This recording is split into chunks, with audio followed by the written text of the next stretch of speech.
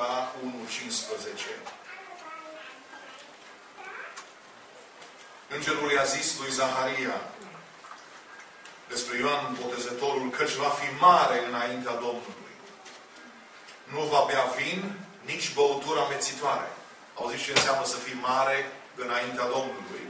Nu va bea vin, nici băutură amețitoare. Mulțumesc de aminul puternic. Și auziți încă ceva. Și se va umplea de Duhul Sfânt. Asta înseamnă să fii mare. A doua caracteristică a omului mare se va umplea de Duhul Sfânt încă din pântecele mamei sale. El va întoarce pe mulți din fiii lui Israel la Domnul Dumnezeul lor. Va merge înaintea lui Dumnezeu în Duhul și puterea lui Ilie ca să întoarcă inimile părinților la copii și pe cei neascultători la umblarea în înțelepciunea celor neprihăniți, ca să gătească Domnului un noroc bine pregătit pentru el. Zaharia a zis îngerului, din ce voi cunoaște lucrul acesta? Fiindcă eu sunt bătrân și nevastă mea este înaintată în vârstă. Drept răspuns, îngerul i-a zis, eu sunt Gavril, care stă înaintea lui Dumnezeu, am fost trimis să-ți vorbesc și să-ți aduc această veste bună. Iată că vei fi mut. Și nu vei putea vorbi până în ziua când se vor întâmpla aceste lucruri, pentru că n-ai crezut cuvintele mele care se vor împlini la vremea lor. Norodul însă aștepta pe Zaharia și se mira de zăbovirea lui în templu. Când a ieșit afară, nu putea să le vorbească și au înțeleses că avusese o vedenie în templu.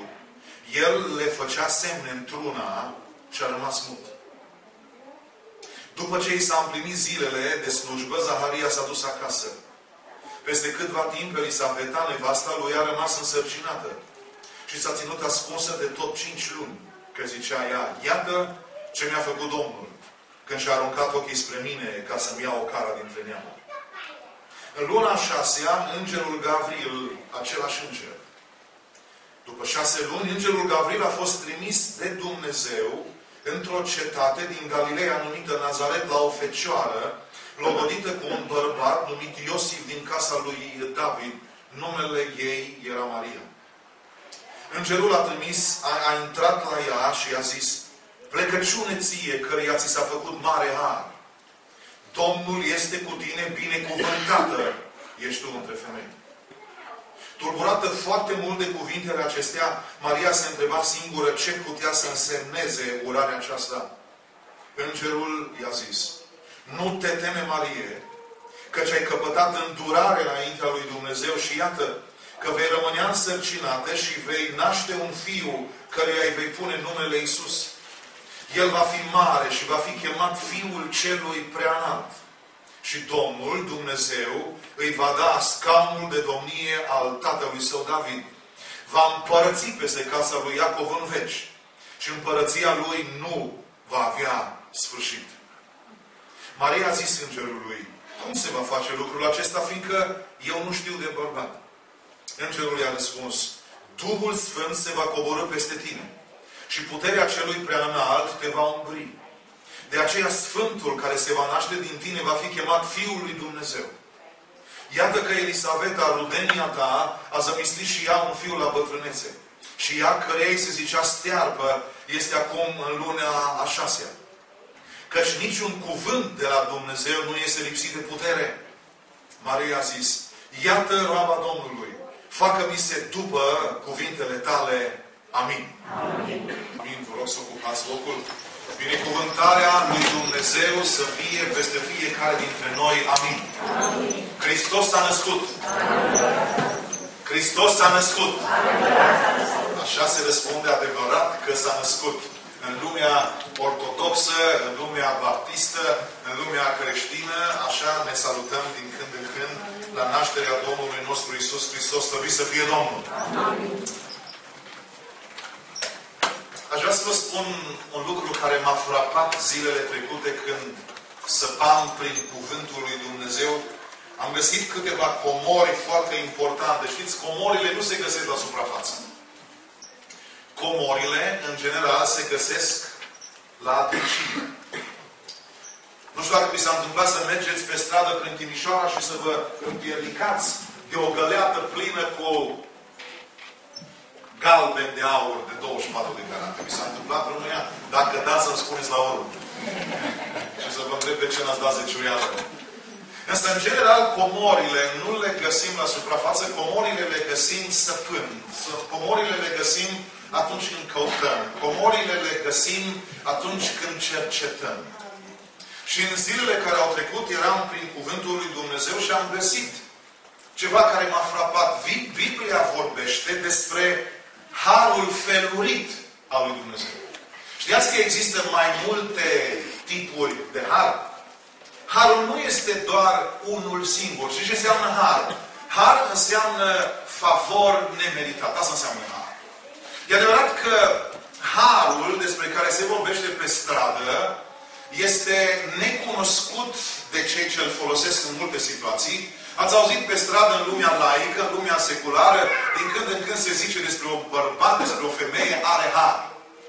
Dar nu se referă, adică este simpatic, are carismă, are așa niște abilități speciale. Însă când Biblia vorbește despre har, ea se referă la favor nemeritat din partea lui Dumnezeu. Biblia vorbește despre harul felurit al lui Dumnezeu. Harul lui Dumnezeu are mai multe culori. Harul este felurit.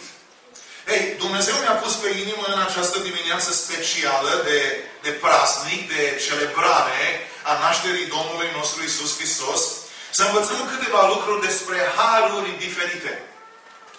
Despre diferitele și feluritele haruri ale lui Dumnezeu. În Luca, la capitolul 1, versetul 28, pe care deja l-am citit, Biblia ne vorbește despre un har mare.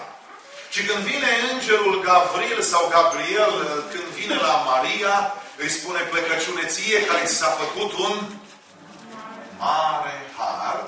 Și îmi imaginez cu îngerul Gavril s-a a plecat și s-a înclinat în fața Mariei. A fost o onoare specială pe care Dumnezeu din cer i-a trimis-o acelei femei. Însă cuvântul lui Dumnezeu în 2 Corinteni 9, 14 ne vorbește despre harul nespus de mare al lui Dumnezeu. Este un alt, o altă culoare a harului. În Filipeni 1, 29, Apostolul Pavel ne vorbește despre harul de a pătimi pentru Hristos. Asta este un alt har, harul felurit al lui Dumnezeu. Iar în 2 Corinteni 1 cu 15, Biblia ne vorbește despre al doilea har. În urmă cu câțiva ani m-am întâlnit cu un frate pe stradă și uh, eu l-am botezat cu ani de zile în urmă când eram pastor la altă biserică aici în oraș. Eu am fost pastor în Timișoara la trei biserici, asta este numărul trei. Însă m-am întâlnit cu omul acesta și mi-a zis, frate Daniel, vreau să te întreb ceva. Era un tip care cunoștea Biblia, cred că mult mai bine decât o cunosc eu. Și uh, era un cercetător uh, al, uh, al Bibliei și a zis, frate Daniel, știi că Biblia ne vorbește despre un al doilea har? Eu zic, nu. Zic, nu vorbește. Despre un al doilea har. Și a scos Noul Testament din buzunar, Baptistul, și mi-a deschis și mi-a arătat că în 2 Corinteni Pavel ne vorbește despre al doilea har. Deci am venit să vă aduc și să vă dau un al doilea har. Un har numărul 2. Primiseră un har, dar știți, unii dintre noi avem nevoie de harul numărul 1, dar vor avem nevoie și de harul numărul 2. Știați asta? Și cred că noi care suntem aici în această dimineață avem nevoie nu doar de un har, avem nevoie și de harul numărul 2 și mă tem că avem nevoie și de harul numărul 3. De harul felurit al lui Dumnezeu. Doamne, dă-mi din belșug. Harul, deci, este de mai multe feluri. Eu însă, în această dimineață, aș vrea să amintesc doar două haruri pe care Dumnezeu ni le-a dat. Și vorbesc acum la modul specific. Biblia vorbește despre har general și har special. Harul general, harul general, când Biblia vorbește despre har general, știți la ce se referă? Domnul Isus la un moment dat spune că Dumnezeu dă ploaie și peste rău și peste bun. Amin. Amin. Dă har uh, Dumnezeu, adică dă ploaie, asta este harul general, El dă soare și peste cei buni și peste cei răi. Ăsta l-am am numit eu și în termeni teologici, ăștia se numește har, se numește har general. Har general. Acum, fiți atenți, nu trebuie să fii pocăit ca să primești har general. Harul general, Dumnezeu îl dă la toți oamenii, inclusiv la bandiți. Dă Dumnezeu harul general. Inclusiv la, la cei mai răi oameni, Dumnezeu dă har general. Și la politicieni Dumnezeu le dă har general și la pocăiți Dumnezeu le dă har general. Dumnezeu este bun cu noi toți. Oricare ar fi culoarea noastră, Dumnezeu dă ploaie și dă soare și asta este har general și la unii și la alții. Însă există o singură problemă cu harul general. Har general înseamnă să-ți dea cineva sau Dumnezeu capacitatea să compui muzică. Muzica bună face parte tot din harul general al lui Dumnezeu. Să poți să cânți la un instrument, să, să, să, să compui muzică bună, să cânți cu vocea. Este un har general pe care Dumnezeu îl dă multor oameni. Inclusiv Dumnezeu le-a dat har general la maneliști. Domnule, da, le-a dat har general, nu prea sunt eu de acord cu manelele, însă Dumnezeu le-a dat har general și la ăștia, să compună manele. Și unele sunt bune, altele sunt nebune. Dar Dumnezeu dă har, dă har tuturor oamenilor. Pentru că El este un Dumnezeu al Harului, gloriei lui Dumnezeu. Există însă o problemă foarte serioasă atunci când este vorba de Harul general. Noi ne bucurăm că Dumnezeu ne dă ploaie și ne dă soare și celor buni și celor răi. Și ăsta este un motiv de mulțumire. Însă știți care este problema cu Harul general? Harul general nu mântuiește. Asta este problema. Noi ne bucurăm că Dumnezeu ne dă har general. Însă, deși harul general este binevenit, și asta înseamnă că Dumnezeu este bun cu fiecare dintre noi, atunci când Dumnezeu dă har general, ploaie, soare, sănătate, bani, ă, abilități, deși trebuie să ne bucurăm, să nu ne bucurăm teribil de mult. Pentru că harul general nu mântuiește. Dacă în această dimineață ai ajuns în locul acesta și ești și sănătos, sau în această dimineață ai niște abilități extraordinare, bucură-te! Mulțumește lui Dumnezeu. Ăsta, dacă Dumnezeu ți-a dat ploaie și căldură și zăpadă, ăsta este și bani să-ți poți plăti facturile, ăsta se numește har general, dar harul acesta Dumnezeu îl dă și la mântuiți și la nemântuiți. Slavă lui Dumnezeu! Însă nu trebuie să ne bucurăm teribil de mult de harul general, pentru că harul general nu mântuiește. Harul general ajută, dar harul general, și cum l-am mai numit eu, Harul general înseamnă să primești viață fizică. Har special înseamnă să primești viață veșnică. Amin. Aici era de zis amin, un pic mai tare. Har general înseamnă să primești viață fizică, viață materială. Har special este să primești viață spirituală, viață veșnică prin Domnul nostru Isus Hristos. Maria a primit har mare. Și asta este har special. Îngerul vine la Maria și spune, plecăciune ție, căruia ți s-a făcut mare har. I s-a dat un har special, un har nenatural. Mariei s-a dat un har supranatural. Salutul Îngerului în fața Mariei este formidabil. Și ce spune Îngerul Mariei? Într-o vreme ca aceasta. Știți ce îi spune Îngerul Mariei? Îi spune așa. Spune, plecăciune ție, căruia ți s-a făcut mare har, Domnul este cu tine, binecuvântată ești într dintre femei. Acum aș vrea să învățăm ceva teribil de important aici. Să știți că motivul, am tot stat și m-am gândit și eu, și probabil că toți ne-am tot gândit aici, pastori, teologi, cercetători, savanți, oameni simpli, oameni complicați, ne-am tot gândit de ce Dumnezeu a ales-o pe Maria. V-ați gândit vreodată de ce Dumnezeu a ales-o pe Maria? Sigur că ne-am tot gândit, dar ați găsit și răspuns. Sigur că da, primul răspuns clasic pe care îl știe orice om este că Maria era o fată curată. Da, oare nu mai erau și alte fecioare în vremea aceea? Mă gândesc că nu. Că mă gândesc că mai erau multe alte fecioare în vremea aceea. Hai să vă spun de ce cred eu că Dumnezeu a ales-o pe Maria. Dumnezeu a ales-o pe Maria nu din cauza caracterului ei, ci nu din cauza moralității ei. Pentru că mai existau fete și femei de caracter în vremea aceea și mai existau fecioare și în vremea aceea. Să știți că Dumnezeu a ales-o pe Maria prin har. Atât. Prin har. Așa e că teologia nu vă spune lucruri noi, dar vă spune lucruri adevărate. Dumnezeu n-a ales-o pe Maria pentru că era grozavă, ci Dumnezeu a ales-o pe Maria pentru că i-a dat harul lui ei. Amin. Amin. Acum, când Dumnezeu îți dă har special, asta este un miracol extraordinar, slavă lui Dumnezeu. Și ce se întâmplă în momentul când primești har, uh, har special? Auziți ce zice îngerul? Zice, ți s-a făcut mare har. De ce? Nu știu. De ce Dumnezeu? Asta este răspunsul foarte clar și foarte serios și, și, și orice cercetător biblic va da același răspuns.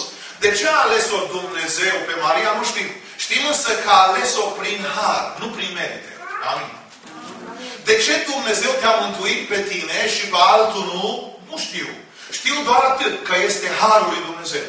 De ce Dumnezeu dintr-o casă mântuiește un soț și soția nu? Nu știm. Știm însă cu certitudine că este Harul lui Dumnezeu. De ce mântuiește o soție și pe soț nu? Nu știu. De ce mânt... Știu însă, știu ceva. Nu știu, dar știu. Este un paradox. De ce? Știu că Dumnezeu i-a dat har acelei persoane. Și auziți ce se întâmplă în momentul când primești mare har, așa cum a primit Maria? Auziți ce înseamnă mare har? Mare har înseamnă așa, zice, îngerul a intrat la ea și i-a zis, plecăciune ție. Căruia ți s-a făcut mare har. Și acum fiți atenți, ce înseamnă să primești har supranatural, nu har general. Har supranatural înseamnă așa, Domnul este cu tine. Asta înseamnă har supranatural. Amin. Domnul este cu tine și nu este o noutate. Avem aceeași carte. Un, un frate cu ani de zile în urmă a venit la mine și a zis, frate Daniel, deci acum i-am făcut un compliment, nu vă spun eu exact complimentul, dar îi plăcea lui, tot pastor era, îi plăcea, îi plăcea lui cum predic eu și mi se părea că eu am idei mai năstrușnice în predicare și mai interesante. Și a zis, frate Daniel, de unde vă inspirați? Zic, băi, m-am uitat la el, mi este drag. Zic, fii atent, avem aceeași carte. Avem aceeași carte. De unde vă inspirați? Zic, din carte, dar și tu ai carte. Amin. Pe vremea aia nu exista internet. Acum ne mai inspirat de pe internet. Dar, dar avem aceeași carte. Avem aceeași carte. Har special, har special înseamnă așa. Domnul este cu tine, binecuvântată ești tu între femei îi zice îngerul, dar nu de favoarea altora. Știți, Dumnezeu i-a dat har Mariei. Știți cui se dă har? Har special. Păcătoșilor. Deși Maria era morală și era fecioară și era o fată de caracter, har se dă păcătoșilor. Maria era păcătoasă. Cât era ea de morală și de fată bună și cu minte și curată, harul se dă păcătoșilor. Și noi în această dimineață suntem aici în locul acesta tocmai ca să primim har supranatural. Amin. Și dacă ești păcătos, ăsta este primul pas ca să primești harul supranatural. Tot secretul ca să primești harul supranatural este să fii păcătos.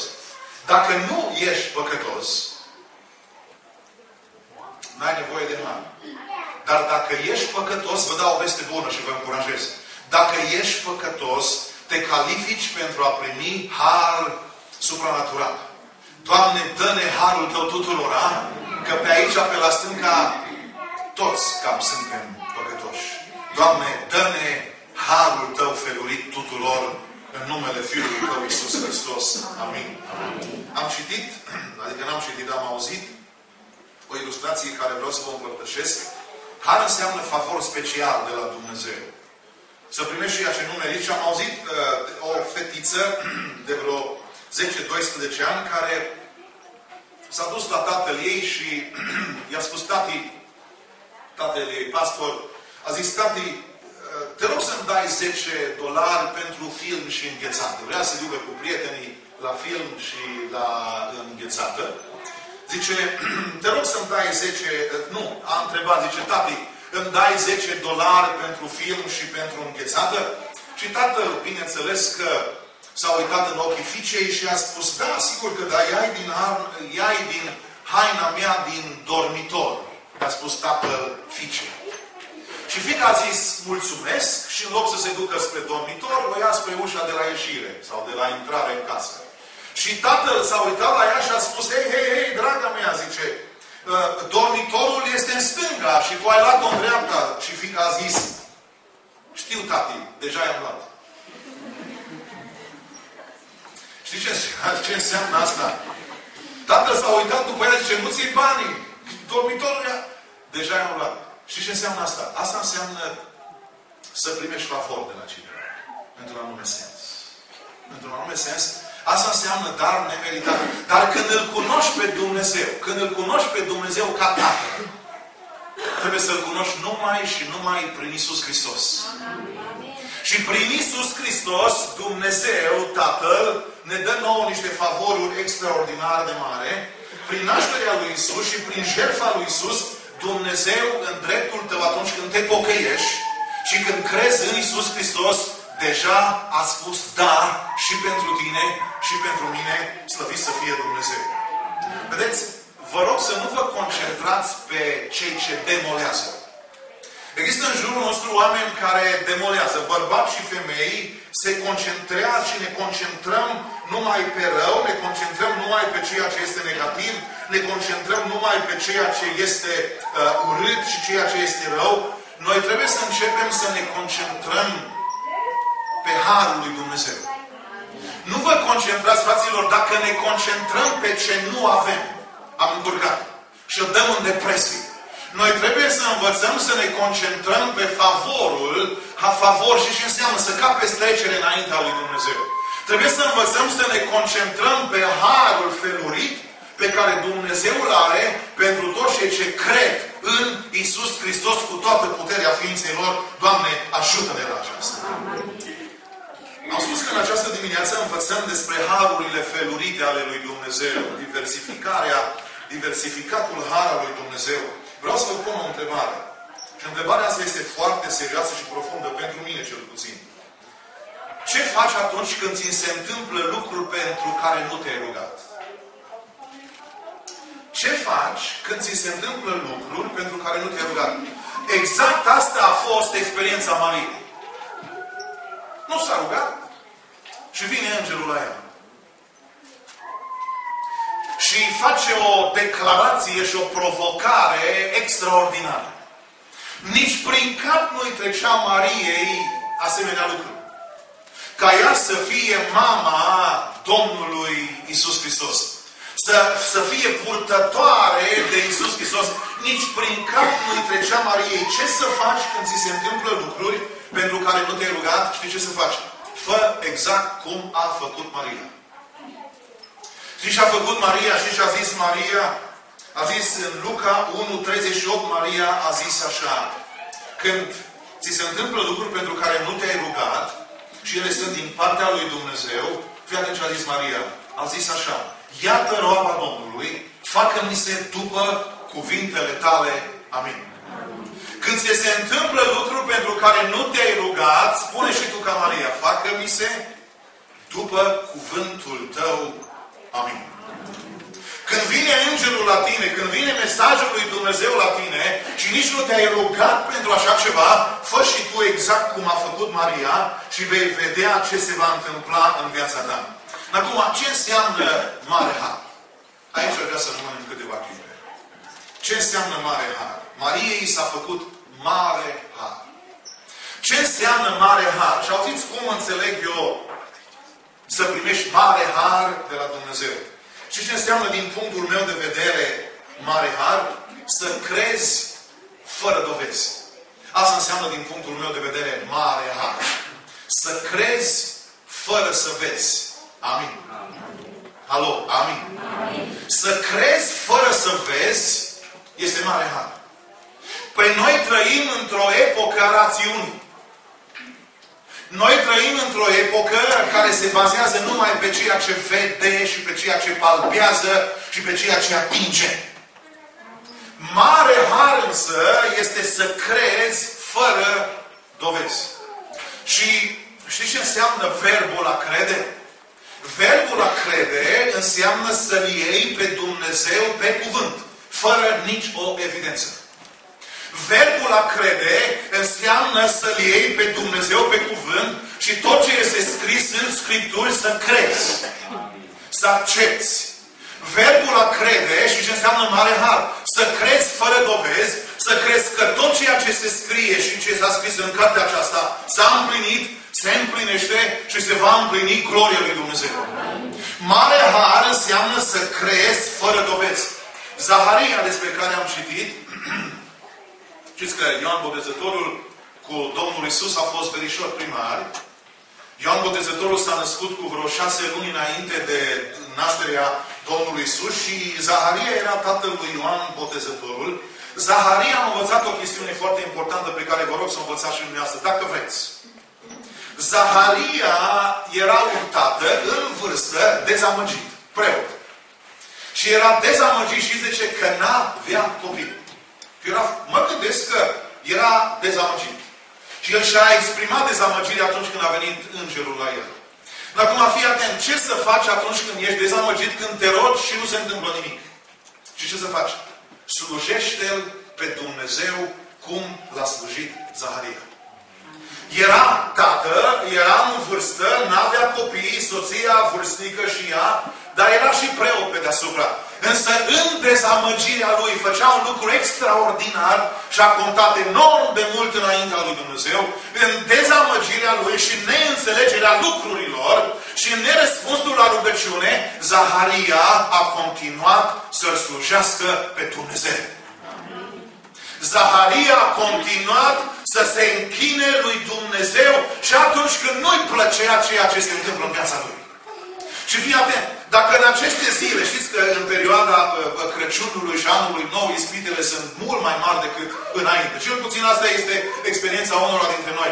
Dar fii atent, atunci când ești cel mai dezamărit și se întâmplă în viața ta lucruri care n-ai vrea să se întâmple, sau nu se întâmplă în viața ta lucruri care ai vrea să se întâmple, și când ești dezamăgit până dincolo, și când ești dezamăgit, zicea cineva, până la Dumnezeu. Și ce să faci? Slujește-L pe Dumnezeu. Și și de ce să slujești pe Dumnezeu? Fii credincios lui Dumnezeu. Și atunci. Când ești dezamăgit și lucrurile nu merg așa cum vrei tu, fii credincios lui Dumnezeu pentru că niciodată nu poți ști când vine Îngerul Domnului la tine. Fii credincios lui Dumnezeu. Pentru că Îngerul lui Dumnezeu vine la tine atunci când te aștepți mai puțin.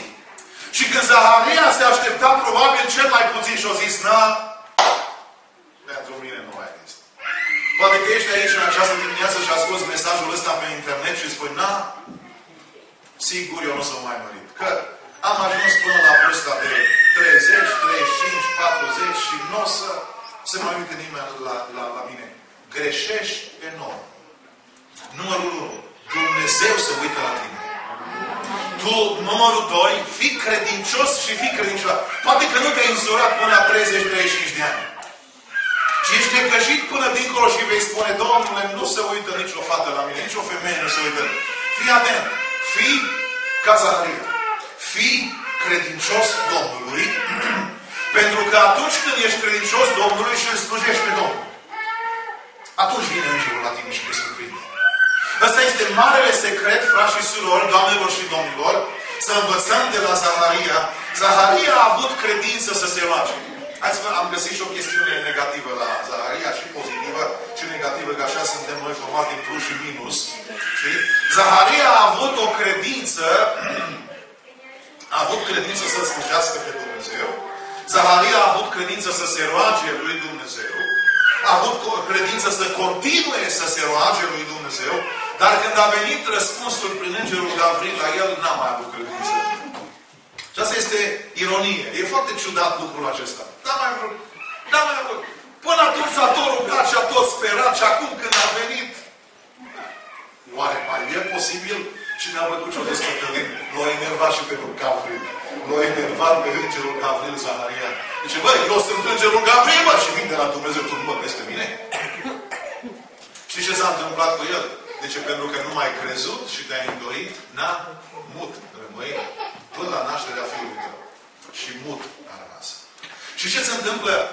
Am învățat aici o chestiune foarte importantă. S-ar putea să vă ajute și pe dumneavoastră.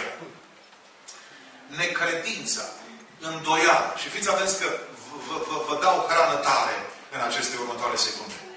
Necredința și îndoiala întotdeauna produce tăcere și muțenie.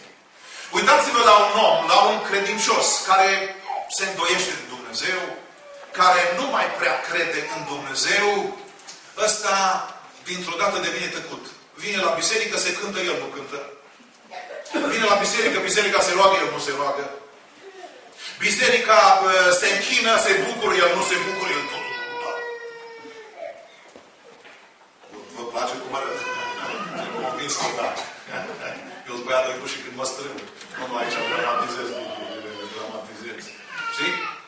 Dar și ce s-a întâmplat cu Zaharia? În momentul când s-a îndoit în inima lui, s-a întâmplat o chestiune ciudată.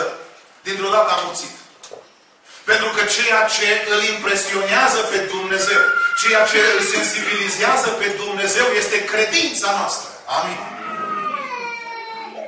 Este îndrăzneala de a crede în Dumnezeu și în imposibilul pe care Dumnezeu vrea să-l aducă în viața noastră. Să, să, să primești mare har de la Dumnezeu înseamnă să crezi fără dovezi. Am mai găsit însă încă o culoare a marelui har a lui Dumnezeu și auziți ce am înțeles eu că înseamnă har mare, așa cum a primit Maria, înseamnă și următorul lucru. Să îți vorbească Dumnezeu și tu să auzi. Să, simplu, dar atât de complex este adevărul acesta, atât de superior.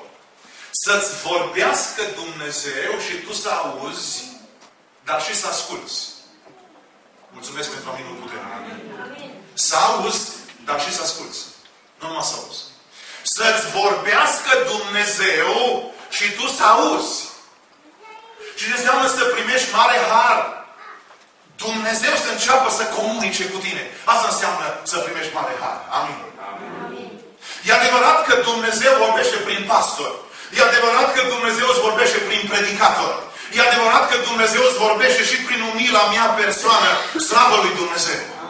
Însă vreau să te întreb, după ce pleci de aici, mai comunică Dumnezeu cu tine? Îți mai vorbește Dumnezeu? După ce pleci din locul acesta, pe cine te mai bazezi? Că pastorul nu mai este cu tine. Predicatorul nu mai este cu tine. Când ai de luat decizii în viață, pe cine te mai bazezi? Întrebarea fundamentală este, mai comunică Dumnezeu cu tine? Dar după ce ai stat un ceas sau două ceasuri la stânga sau eu știu unde te duci și te închin tu, și după ce ai plecat de aici uh, până joi sau până duminica următoare, trăiești în besnă, trăiești în obscuritate, ești în întuneric, mai comunică Dumnezeu cu tine și ce înseamnă creștinism autentic? Să-ți vorbească Dumnezeu, tu să îl asculți pe Dumnezeu, să-L auzi pe Dumnezeu, să primești capacitatea să dișeni vocea lui Dumnezeu din, din, din, din, din zecile de voci care le auzi în fiecare moment, din, din acest război al vocilor, din războiul vorbelor. Mare har înseamnă să distingi vocea lui Dumnezeu. Asta înseamnă har mare. Într-o, în, în, într-o lume tăcută, dacă vreți. Să-L auzi pe Dumnezeu vorbindu-ți. Este mare har. Exact așa s-a întâmplat cu Maria. Dumnezeu a venit la ea prin Îngerul Gavril și Dumnezeu a început să comunice. Și ce cred eu că înseamnă creștinism autentic, domnilor și doamnelor, fraiesilor? În rest e pierdere de vreme și vrăjeală și ne auto-înșelăm. Creștinism autentic înseamnă că Dumnezeu comunică cu tine într-un mod supranatural. Asta înseamnă mare har. Dumnezeu comunică cu tine când ești în casa Lui, însă Dumnezeu comunică cu tine și când ai plecat din casa Lui. Amin. Că când ești la serviciu și când ești la bucătărie și când ești la business-ul tău, Dumnezeu mare har și ce înseamnă să-L auzi pe Dumnezeu vorbindu-ți. Am auzit mărturia unei profesoare, cred că a avut o problemă gravă, dintr-o instituție din nefericire baptistă și fiind profesoară, unul dintre elevii ei a rămas corigent. Acum s-ar putea câțiva să mă judecați, dar îmi asum riscul ca întotdeauna când predic. Și a venit vremea examenului de corigență, asta este mărturia profesoarei care a făcut mine. Și elevul tot n-a știut de trecere. Și auziți, s-a rugat el. A zis, Doamne, să-l trec sau să nu-l trec? Să-l trec sau să nu-l trec? Și răspunsul de la Dumnezeu a zis, lasă repede. Știți că nu cred că acela a fost Dumnezeu. Te adevărat că eu, dacă eu aș fi profesorul, iar eu i-aș trece pe toți. De fapt, adevărat și asta. I-aș ajuta să învețe, dar i-aș trece pe toți. Însă vreau să vă întreb, fraților, vreau să vă întreb, Dumnezeu mai comunică cu noi? și dacă Dumnezeu comunică, comunică să faci rău cuiva, sub nicio formă. Când Dumnezeu comunică cu noi, comunică să refacem bine tuturor oamenilor. Doamne, ajută-ne la aceasta. Să faci bine chiar și dușmanilor tăi. Asta înseamnă mare har că Dumnezeu îți comunică și tu la rândul tău comunici mesajul lui Dumnezeu oamenilor în mijlocul căruia Dumnezeu te-a așezat. Doamne, ajută-mă la aceasta. În creștinismul autentic Dumnezeu comunică cu tine într-un mod supranatural. Dumnezeu te aude pe tine, te ascultă pe tine și tu îl asculți pe Dumnezeu atunci când îți vorbește. Și vă dau un exemplu foarte clar să vedeți că am dreptate. Saul din Tars. Saul din Tars. Se ducea prin Damasc să-i prindă și să-i omoare pe creștini. Și din Ierusalim a plecat prigonitor. Când a ajuns în Damasc, era predicator. Între timp ceva s-a pedecut pe drum, că s-a întâlnit cu Isus Hristos, glorie Domnului. În Ierusalim era neconvertit. Era un simplu iudeu, un simplu evreu, plin de râvnă și cu multă răutate și ură față de creștini. Însă undeva între cele două puncte de plecare și de sosire, s-a întâlnit cu Domnul Isus și pruncul născut în Iesta Betleemului deja era acum înviat, ridicat la cer, însă se coborâse pentru câteva clipe în fața lui Saul din Tars. Și acum vă aduc în aminte, vă aduc aminte de ce s-a întâmplat acolo pe drumul care ducea spre Damasc cu Saul. Și s-a întâmplat, s-a văzut o lumină mare, a căzut în praful de pe drum și la un moment dat o voce îi spune așa, Saule, Saule, pentru ce mă prigonești? Și ce răspunde Saul din Tars? Zice, cine ești tu, Doamne? Și vocea îi răspunde din lumină. Eu sunt Isus pe care îl prigonești. El îi prigonea pe creștini, dar de fapt îl prigonea pe Domnul creștinilor. Așa se întâmplă când îi prigonim pe creștini, de fapt îi prigonim pe Domnul Isus. Dacă facem vreunul din noi lucrul acesta, Doamne ferește. Însă ceea ce vreau să vă spun este următorul adevăr. Domnul Isus comunica cu Saul și Saul cu Isus. Doar Saul auzea cuvintele. Ceilalți, tovarășii de drum, nu auzeau cuvintele. Ei, ei vedeau lumina, au văzut că ceva se întâmplă. Însă doar Saul comunica, ceilalți nu puteau să comunice. Ceea ce vreau să vă spun este următorul, următorul adevăr. Când primim mare har, Domnul începe să comunice cu noi. Oamenii din jur nu te vor înțelege. Dar tu auzi cuvântul lui Dumnezeu și auzi vocea lui Dumnezeu și Dumnezeu comunică cu tine. Ceilalți nu vor auzi, dar cu tine comunică Dumnezeu. Dumnezeu a comunicat cu Maria și Dumnezeu când îți dă și ție mare har, începe să comunice prin tine. Începe să comunice cu tine. Printr-o predică, printr-o cântare, printr-o rugăciune, printr-un verset biblic, printr-un vis, printr-o vedenie, printr-o viziune, dar Dumnezeu, printr-o situație, Dumnezeu comunică cu tine, pentru că Dumnezeul Bibliei este Dumnezeul care vorbește și comunică cu toți aceia care sunt dispuși să asculte de El și de cuvântul Lui slavă Dumnezeului nostru. Amin. Și vreau să închei spunând încă un adevăr. Ce înseamnă mare har? Mai înseamnă că ceva mare, să primești mare har de la Domnul, mai înseamnă încă ceva foarte important. Să rabzi când alții te bagiocoresc. Asta înseamnă mare har. Să rabzi când alții te bagiocoresc.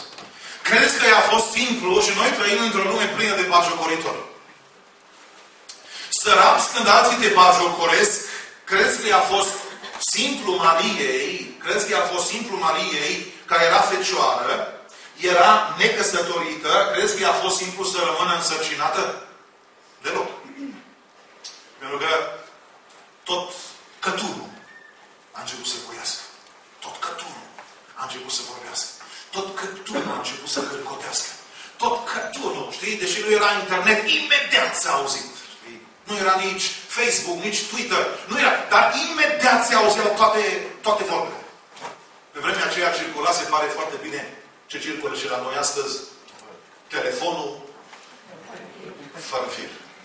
Cineva au zis că noi avem nevoie de fir fără telefon. Pe vremea aceea exista și atunci ca și acum telefonul fără fir. Prostii care le auzi de la unul la altul și le înghiți, le îngurgitezi. Și ele sunt neadevărul, sunt, sunt basme sau sunt, sau sunt otrăvuri. Ce înseamnă mare har? Să rabzi când alții te bajocoresc.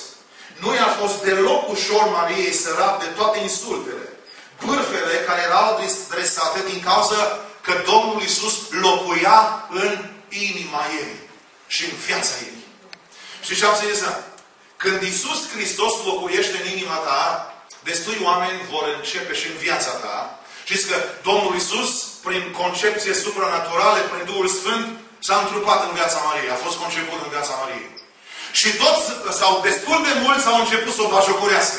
Și exact așa este și astăzi din punct de vedere spiritual. Ia numai să te pocăiești. Și să vină Domnul Isus în viața ta. Și să vezi cum începe toată scara blocului.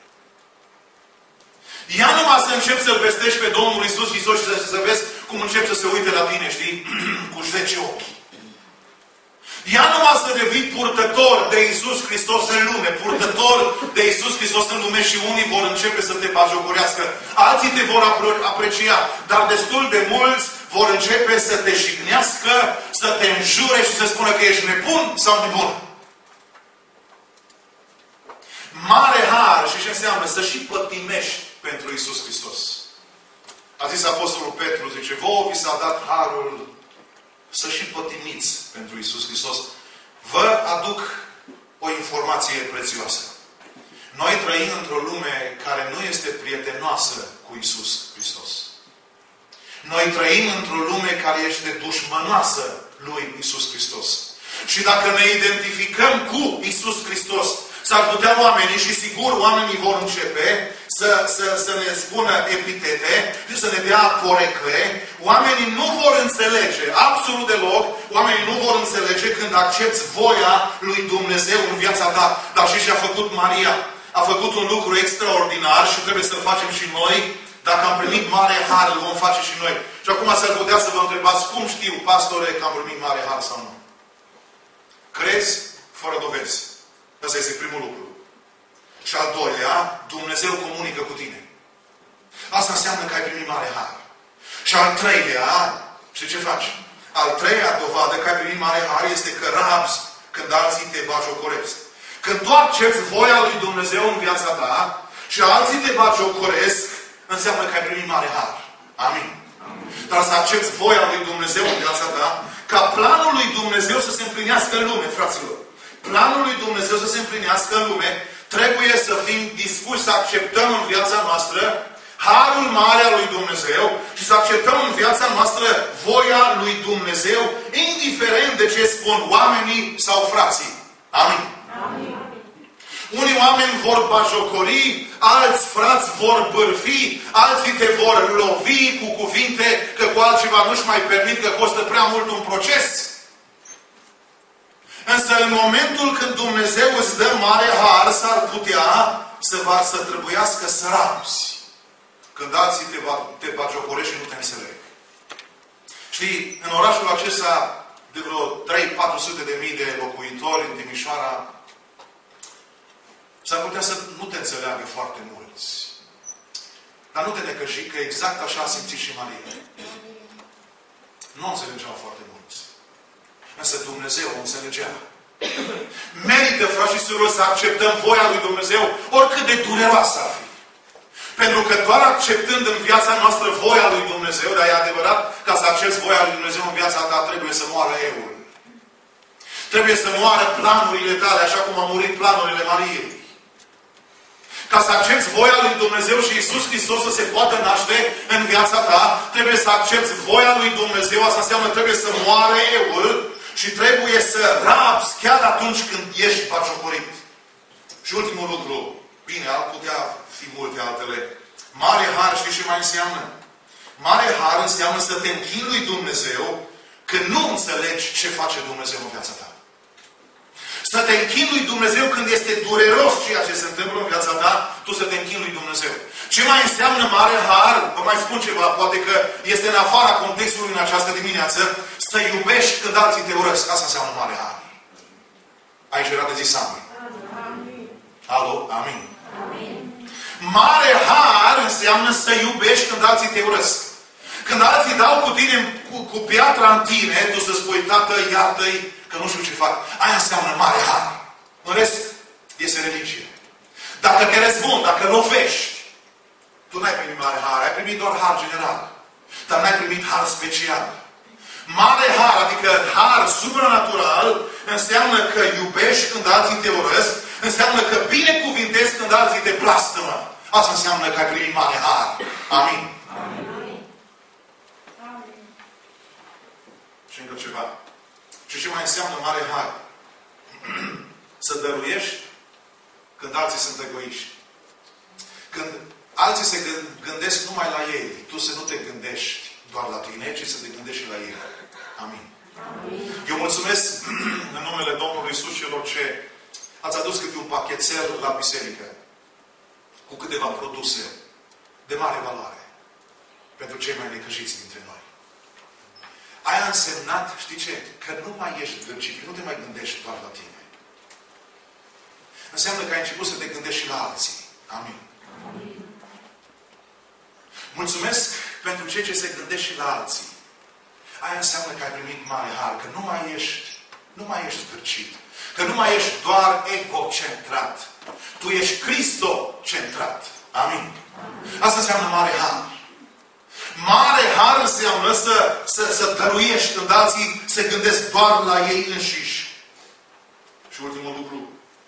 Dacă rămâi în credință, atunci când nu înțelegi ce se întâmplă în jurul tău, dacă rămâi în credință și în închinare, că e simplu să crezi, o, eu cred și când sunt lovit. Însă fii atent. Faptul că dovada că ai primit mare har este că rămâi în credință și în închinare și rămânând în credință și în închinare, când se, se întâmplă lucruri care nu-ți plac, vei începe să ai parte de binecuvântările lui Dumnezeu.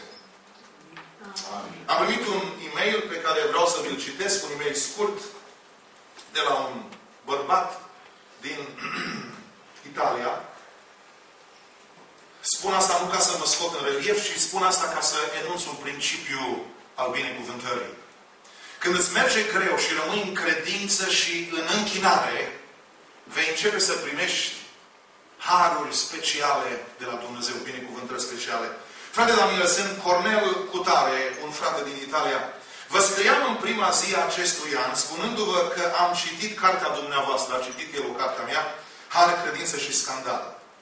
Am primit răspuns la scrisoarea mea, e-mail, asta electronică, care m-a făcut să mă gândesc tot anul la el. Era scris ceva de felul acesta. Va fi cel mai binecuvântat an din viața ta pentru că Domnul este păstorul tău. Scrie el mai departe. Așa a fost. Pentru mine a fost o prorocie care s-a împlinit și chiar am crezut-o ca atare. Aș vrea să îmi mai trimiteți odată același e-mail, dacă îl mai aveți. Vrea, vrea să se repete, dar nu mai, nu mai pot, că nu caut printre mii de e-mail-uri. Aș vrea să mai trimiteți odată același e-mail, dacă îl mai aveți, sau poate Dumnezeu va fi la fel de bun cu noi și îmi veți trimite un nou mesaj divin Apropo, poate nu vă mai aduceți aminte cine sunt, m-ați cunoscut la Roma în urmă cu 2 ani, în urmă cu piciorul rupt. Zice, poate că mai îmi trimiteți încă o dată același e-mail sau îmi trimiteți încă un alt mesaj divin. Acum, eu am scris acelui om un mesaj de încurajare și de binecuvântare. Însă știți ce a făcut el? L-a luat ca atare. Și ce a făcut? L-a aplicat personal la viața lui. Și s-a petrecut miracolul. Și spune, a fost cel mai special an din viața mea, pentru că cineva de la un alt capăt al, al Pământului și al Europei a avut îndrăsneala să-l binecuvinteze.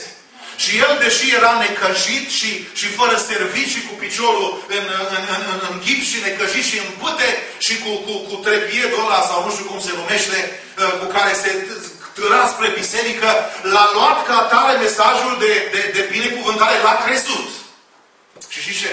a început să primească binecuvântări de la Dumnezeu. Amin. Și exact același lucru s-a întâmplat și cu mine. Când am hotărât și am declarat Domnul este păstorul meu, nu voi duce lipsă de nimic în ciuda crizelor.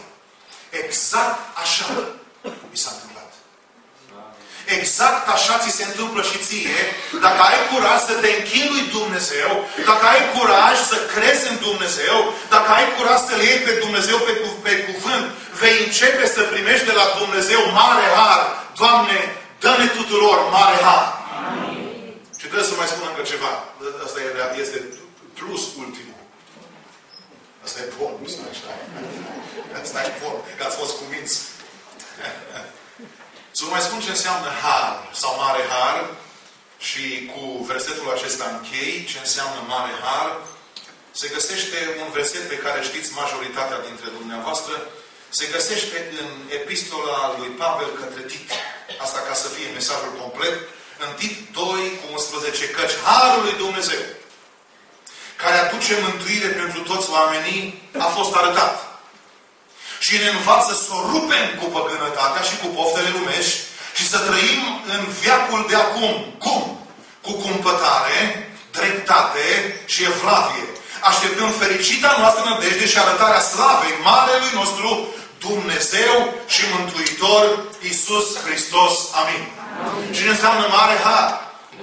Har mare să primești harul lui Dumnezeu în viața ta, care aduce mântuire pentru tine și pentru toți oamenii, Înseamnă că o rupem cu păgânătatea, cu poftele lumești, oricare ar fi acelea, și să trăim în viacul de acum cu cumpătare, dreptate și evlavie și încă ceva, așteptând fericita noastră nădejde. În momentul când ai primit mare har, îl aștepți pe Iisus Hristos să vină. Amin. Și atunci nu mai poți trăi cum vrei tu, ci trăiești cu evlavie, cu cumpătare uh, uh, și nu mai trăiești în poftele lumești, ci trăiești așteptându-L pe Iisus Hristos să vină în slavă și în glorie